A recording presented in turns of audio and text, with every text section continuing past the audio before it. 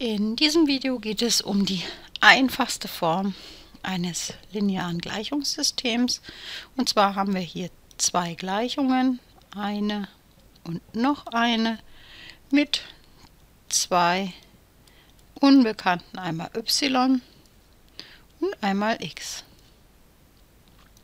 Warum lineares Gleichungssystem? Keine der Variablen kommt in irgendeiner Potenz vor. So, da gibt es drei mögliche Verfahren. Entweder wir setzen ein, das heißt, man bringt dieses hier zum Beispiel auf die Form 3x ist dann gleich 5 minus 4y und setzt das dann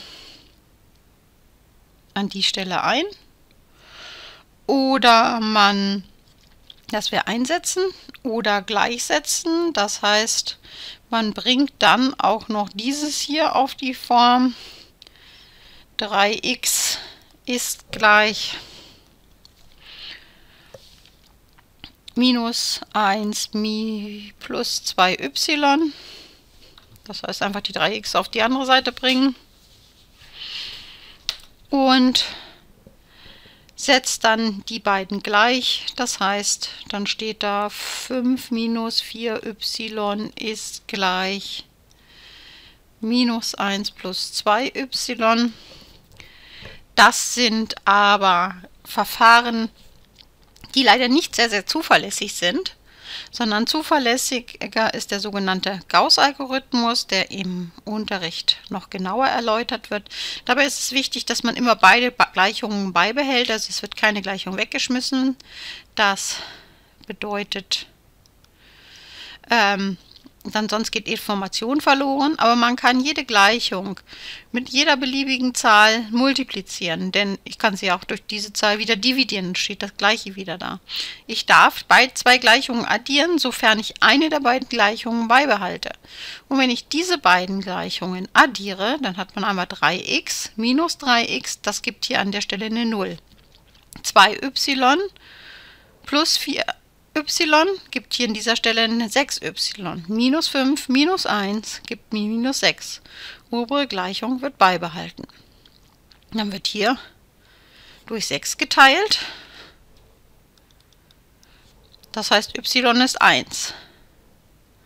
Wenn y 1 ist, dann muss natürlich auch hier oben y 1 sein. Also kann man das einsetzen. Das heißt, 4 plus 3x minus 5 ist immer noch 0. Die 4 plus minus 5 gibt 1, genau genommen minus 1 auf die andere Seite gebracht gibt die 1.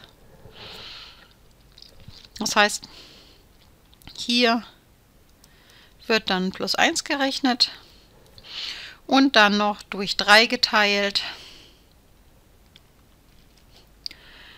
Und dann haben wir x gleich ein Drittel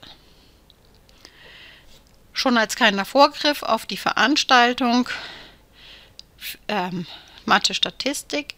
Sie dürfen da den Casio 991 benutzen, egal in welcher Variante. Und unter dem Menüpunkt Mode 5 finden Sie Gleichungssysteme. Ähm, im Punkt EQN und dann kann man auch solche Gleichungssysteme im Taschenrechner lösen, aber in der Klausur wird es auf jeden Fall in irgendeiner Form gefordert.